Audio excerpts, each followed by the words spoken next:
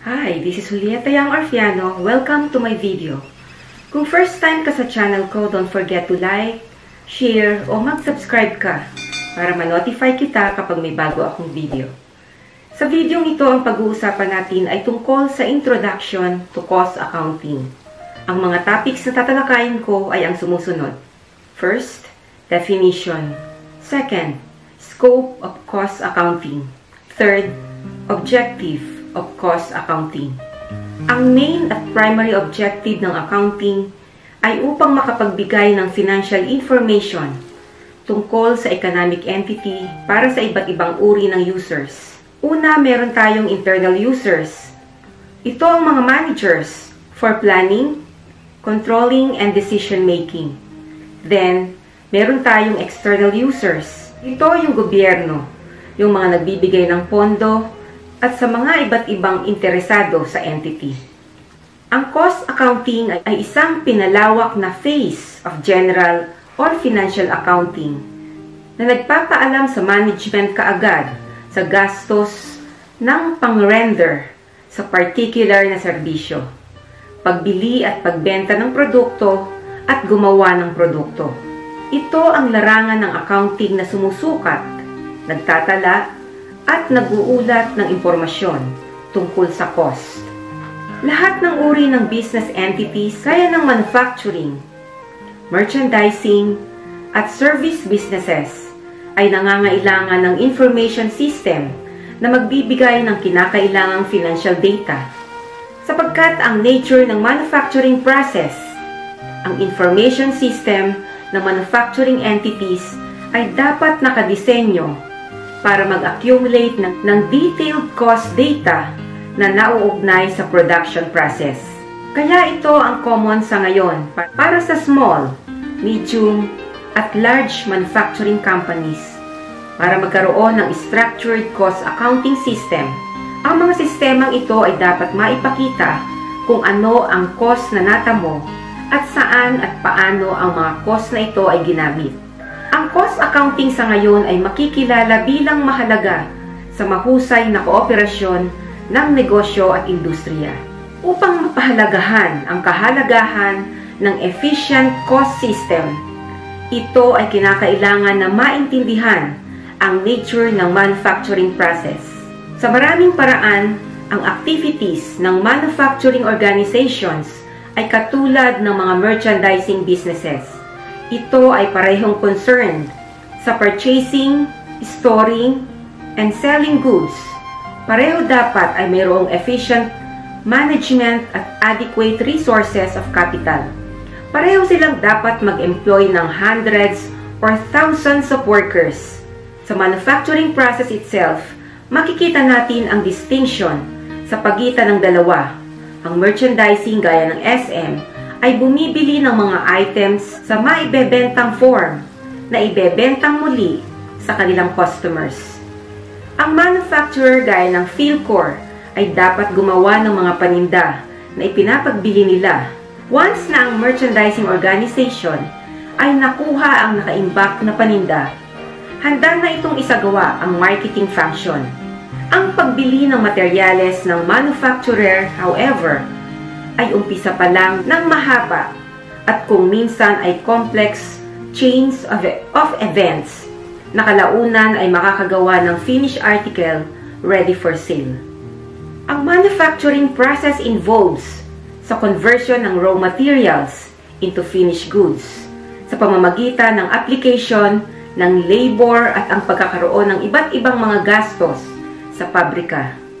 Ang manufacturer ay dapat gumawa ng major investment sa physical facilities gaya ng factory, building at warehouses at mag-acquire ng maraming specialized type of machinery at equipment upang maisakatuparan ang manufacturing process. Ang manufacturer ay dapat bumili ng appropriate quantities ng raw materials, supplies, at parts at, bumuo ng workforce para i-convert ang mga resources na ito into finished goods. Once na ang goods ay makumpleto at maging handa na para ibenta, ang manufacturer ay gumaganap basically ng parehong function gaya ng merchandiser sa pag-iimbak at pagbebenta ng goods. Ang method ng accounting for sales, cost of goods sold at selling, and administrative expenses ay parehas din sa merchandising organization. Bagaman ang cost accounting developed originally sa manufacturing businesses para masatisfy ang management's need para sa product cost information. Ang cost accounting ay kapaki-pakinabang sa lahat ng uri ng activities, sa lahat ng uri ng organizations. Ang cost accounting ay mahalaga hindi lamang para sa profit-seeking entities, ganun din para sa non-for-profit organizations, gaya ng governmental agencies, churches, at charities. Comparison of financial, managerial, and cost accounting. Meron tayong dalawang major areas ng accounting.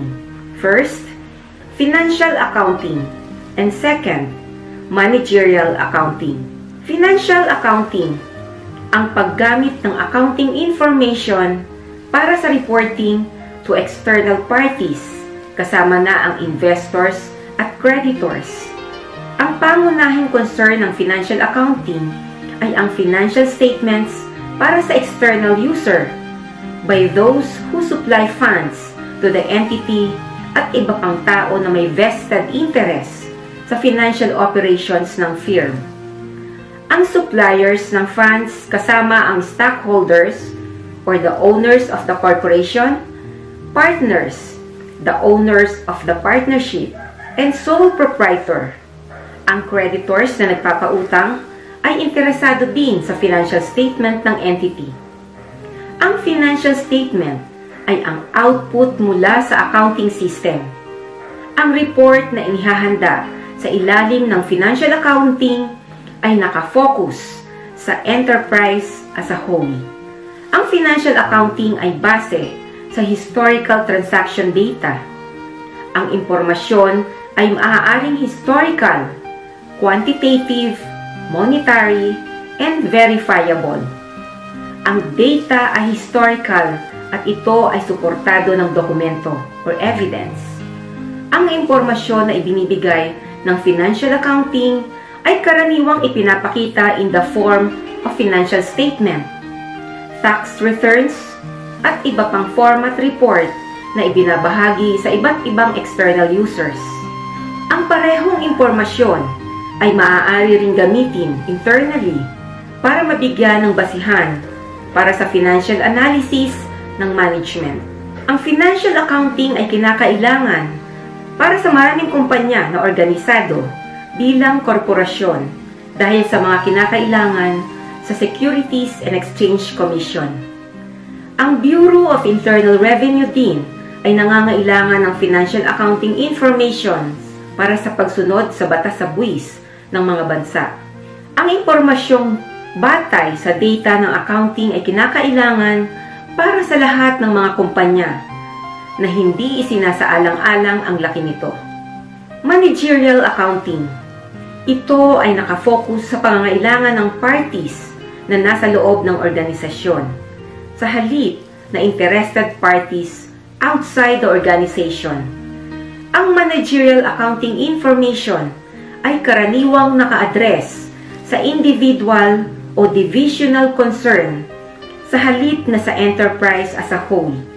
Ang impormasyon ay maaaring current or forecasted quantitative or qualitative monetary or non-monetary. At higit sa lahat, napapanahon ang data at, fu at futuristic at ang ilan sa mga costs ay hindi na itala sa mga libro sa accounting. Ang managerial accounting ay hindi nakahiwalay at iba sa financial accounting. Ang financial accounting data ay ginagamit sa managerial accounting system. Ang mga desisyon na ginagawa ngayon ay makakaapekto sa financial statement ng future periods. Walang kinakailangan o batas na naguutos sa format o paggamit ng managerial accounting. Ang managerial accounting methods ay tools that are available for use to management. Ang financial accounting ay sumubok na magpakita ng ilang degree o precision sa reporting historical information habang kasabay nitong binibigyang diin ang pagiging totoo at kalayaan mula sa bias sa impormasyon, relevance to the general user, at some degree of timeliness in reporting which is not as critical in managerial accounting. Ang timing ng impormasyon at ang relevance nito sa decision on hand ay may higit na kabuluhan para sa internal decision maker. Ang management ay more concerned sa timeliness ng impormasyon para sa management na hindi makakapaghintay hanggang bukas para sa impormasyon na kinakailangan para sa ngayong pagdidesisyon. Ang measuring base sa managerial accounting ay hindi kailangang limitahan sa piso.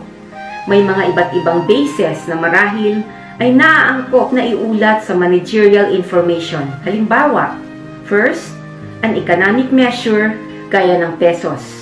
Second, a physical measure gaya ng pounds, gallons, tons, or units.